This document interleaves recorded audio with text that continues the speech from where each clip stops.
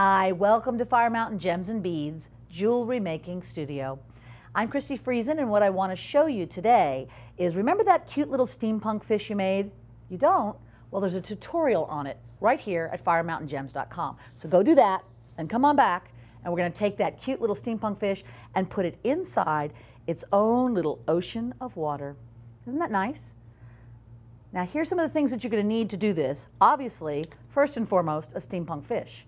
So there's your cute little steampunk fish, small enough to fit inside some sort of receptacle. I chose this wonderful little thing. It's a, a, vintage steampunk watch looking thing with a clear glass backing. And as you can tell, we've got a little fish in there just waiting to get the rest of his resin. But that is wonderful. Anything like that is going to work fantastic.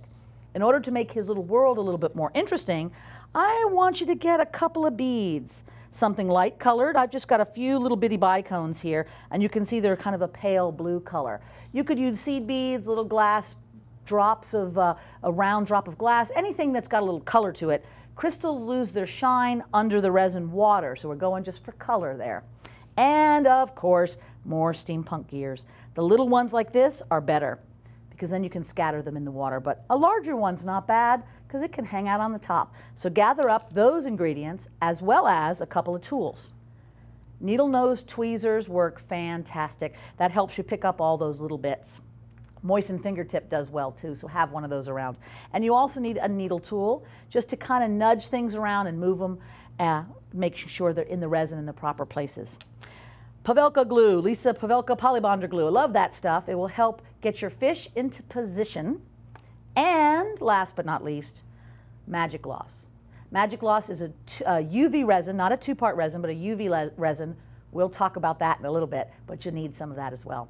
Okay, so there's your ingredients. Let's get ready to put your fish in the water. Okay, so now you've gathered up all the ingredients that you're going to need to put your little fish in an ocean of resin. So let's begin. The first thing, of course, that we got was this beautiful little round steampunk vintage looked glass case. The glass case on the back is really impressive. It really will make your fish look like it's see-through.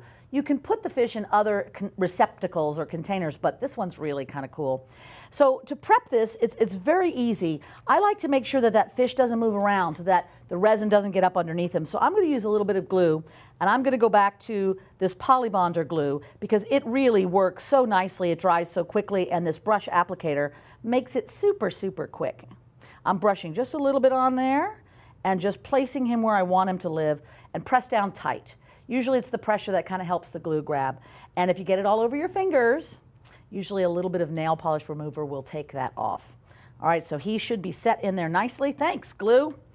Now, all you're going to do is add resin a little at a time. This is a UV resin.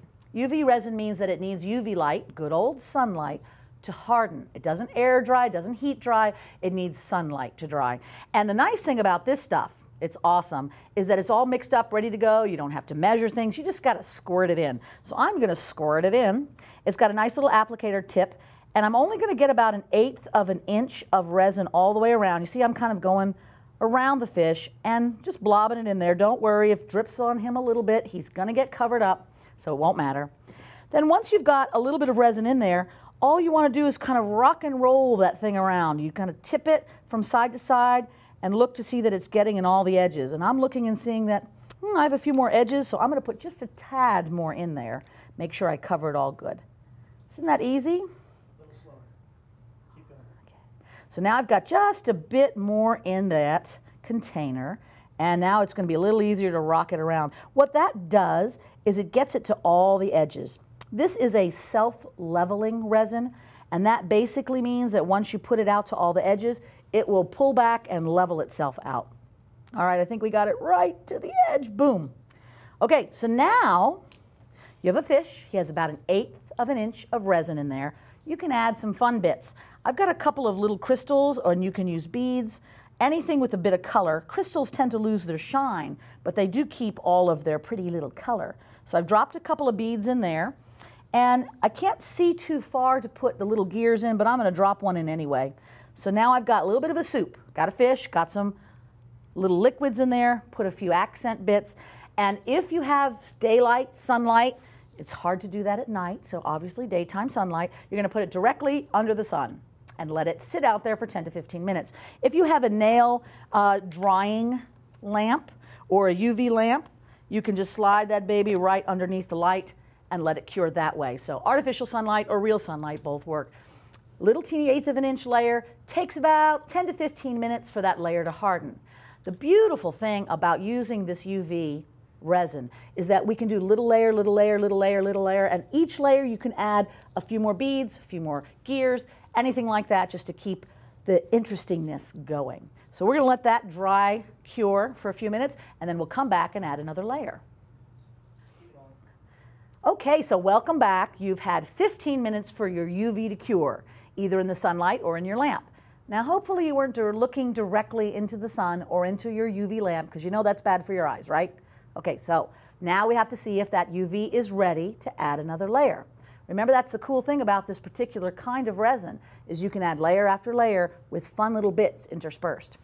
So just pull it out and take your thumb and smash it right in the middle. And if it sticks to your thumb, no, wait, that's not how we do it. You just take a needle tool and you very carefully test. If it feels like a gummy bear, it's not done yet. If it feels firm, you're ready to put your next layer on. This next layer is almost identical to what we just did in that you're just taking your resin and you're pouring it just like you did before. A couple little drips all around the fishy bits, A little more all around. If you want, and I do, I'm going to put some resin right on top of him and it'll just flow over the top and onto some of those little gear bits. You can even put some on his eye if you want. What that will do is help hold those pieces on. And since he's in the water anyway, it'll look quite natural. Remember that little rock and roll? So you're to rock it around, make sure that resin gets into all the corners. See right there, get together. If they can't get it together, whoa, that's where your needle tool comes in. You just go back and forth until it gets right where you want it. It's also handy for getting rid of bubbles. You see he's got little bubbles there, probably just a little fishy gas. Get in there and poke them and get them out of there. Then if you have a little resin on your needle tool, don't lick it off. Use a wet wipe or tissue. And then you can add just a few more little beads and gears and you're ready to put it right back in the lamp again. If you have a large gear, you can lay that right on top, usually at this stage, because the resin's high enough to where that can float on that top layer. And it'll add a nice little bit of interest and a little bit of different depth to the whole look of the thing. Then guess what we're going to do? Put it right back under the light, let it harden one more time. Okay, find something to do for 15 minutes, that's going to cure.